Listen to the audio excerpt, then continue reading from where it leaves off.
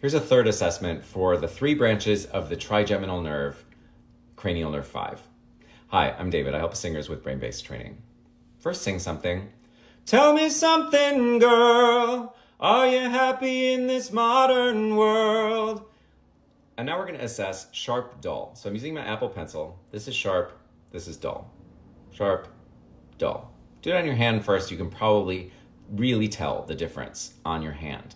We would like to also be able to tell the difference everywhere on your face. So this is much better if you can have someone else do it for you. But if you need to do it for yourself, sharp, dull, sharp, dull, sharp, sharp, sharp. I'm just assessing whether I can tell the difference between sharp and dull. So forehead branch one, cheeks branch two, sharp, sharp, sharp, sharp, sharp, dull, dull, sharp, dull, dull, sharp, sharp, sharp, dull, sharp. And branch three, your jaw.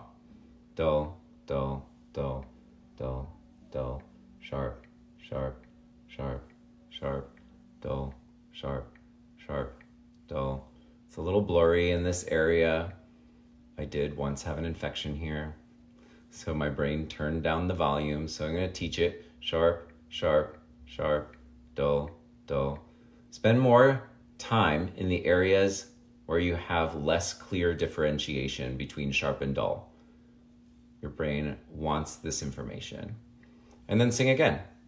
Tell me something, girl. Are you happy in this modern world?